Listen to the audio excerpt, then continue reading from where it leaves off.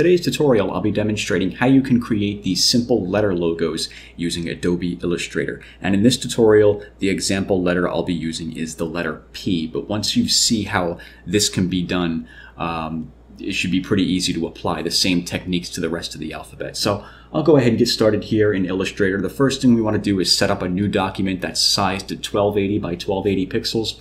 And we're going to set up our documents so that we're all working with a similar view and with similar settings. So what I'm going to do is come up here to where it says View, and I want to turn off Snap to Pixel.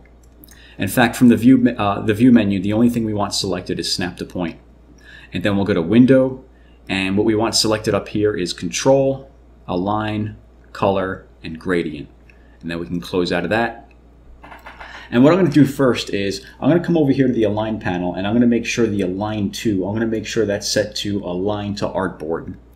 And once that's set, I'm going to come over to the rectangle tool up here. If you click and hold over that button, you'll get this little flyout menu. I'm going to grab the ellipse tool and I'm going to hold shift and alt on the keyboard and click and drag on the canvas to create a perfectly round circle like that.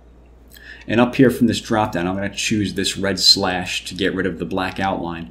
And then for the fill color, I'll just choose black over here. And I'm going to take the opacity of that and bring that about in half. And then I'll click out of that to deselect it. And right here where it says width, uh, ellipse width, we want to make sure we have this turned on, this chain link. We want that constrained width and height proportions. We want that turned on. And I'm going to change the width to 300 pixels. So I'll hit 300 and hit enter. And then I'm going to center this up on the vertical and horizontal axis like that. Now I'm going to grab the select tool and I'm going to hold alt and click and drag this circle to create another copy. And I'll make the width of this 150 oops, 150, and then center that up on the uh, horizontal and vertical axis as well. And I'm going to hold Alt and click and drag that to create another copy, and I'll center that up on the vertical and horizontal axis. And then I'm going to hold, I'm going to click and drag this top node right here, this top anchor point. I'm going to click and drag that up and then hold Shift until it snaps to the top of the circle like that. And then we can let go. And once we've done that, I'm going to click and drag over everything right here, all three of those circles, and I'm going to hold Alt. Actually, no, I'm going to click on the, uh, the Shape Builder tool, which is over here, and then I'll hold Alt and click on the center circle to delete that. And then we'll go back to the Select tool, and then we are left with something like this. So this is going to be the round part of the letter P. What I'm going to do now is I'm going to create the uh, the tail end over here. So what I'm going to do is I'm going to click and hold on the ellipse tool until we get the flyout menu and then we can choose the rectangle tool. I'm going to click and drag to create a rectangle like that. I'm going to bring the opacity of that down in half and I'm going to make the width of this 150. And over here on the inside of this rectangle you'll see these little round anchor points. I'm just going to click and drag that in until it turns until those edges turn red like that. And then it's going to become rounded. Then I'll grab the select tool. I'm going to hold control on the keyboard grab this node right here and then just snap it to the left side of this inner circle right there just like that. And now I'll click off of the graphic to deselect everything. I want to grab the pen tool now which is over here and snap to the top of this shape. Click then hold shift and bring that line straight through all the way to the outside of the bottom of that shape and then go ahead and click again. And now we can let go of shift and just finish this shape up going around the outside and back to the starting point. I'm going to grab the select tool, hold shift, click on the original rectangle so we have them both selected. And I'm going to come over here to the Pathfinder tab. If you don't have the Pathfinder tab, just go to Window, Pathfinder, and then that should pop up. And I'm going to choose uh, minus front. So it's going to get rid of that right there. And what I'm going to do now is I'm going to grab the uh, direct selection tool and I'm just going to click and drag over these two bottom nodes right here and just click and drag them up. And I'm going to hold shift to lock it onto the, uh, the vertical axis. So I'm going to bring this up to about here so that that tail isn't too long. And what I'm going to do now is I'm going to grab the select tool, click and drag over everything, and I'm going to want to zoom in on this so I can get a better view of what I'm doing. So to zoom in, I'm going to hold Alt and roll up the mouse wheel a couple of times.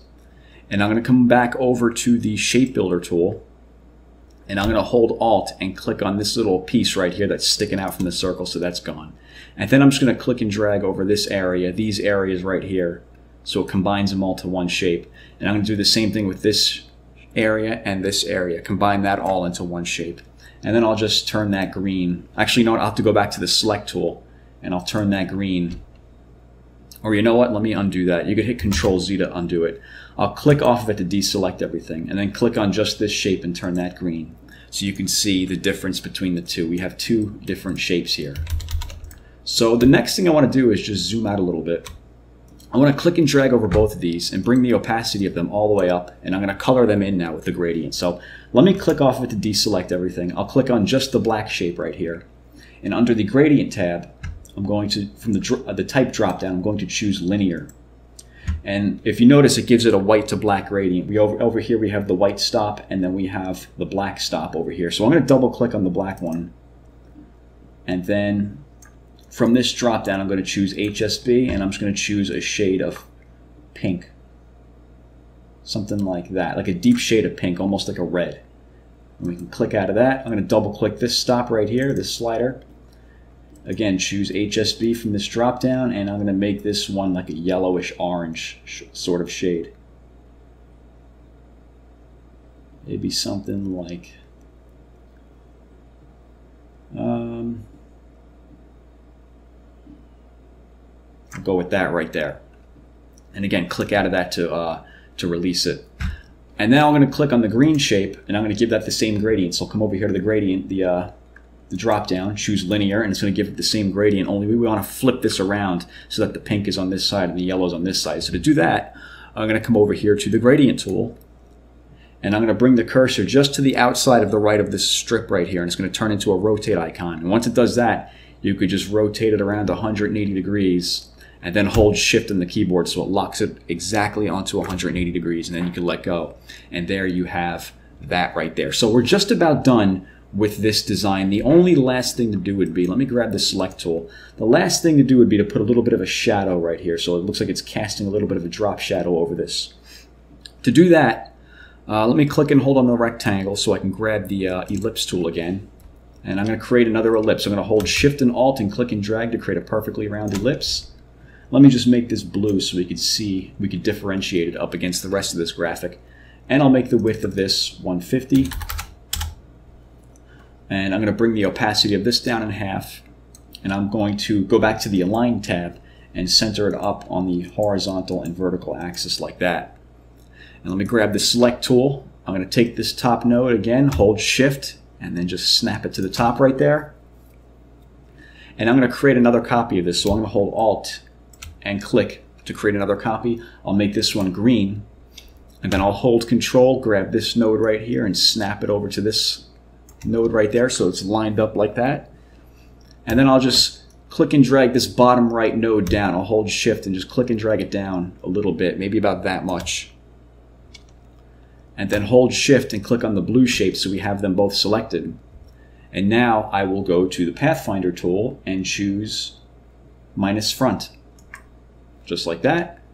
Then hold shift, click on this shape right here, and go back to the shape builder tool hold Alt and click on this interior area right here. And now we can go back to the select tool, click off of it to deselect everything and take just this blue piece that's left over and press delete on the keyboard to get rid of that. And then I'll just take this blue shape right here, I'll make that black and I'll adjust the opacity of it until it looks about right. And that should pretty much do it for this tutorial. That's how you can go about creating these simple letter logos using Adobe Illustrator. So if you have any questions, let me know. And as always, thanks for watching.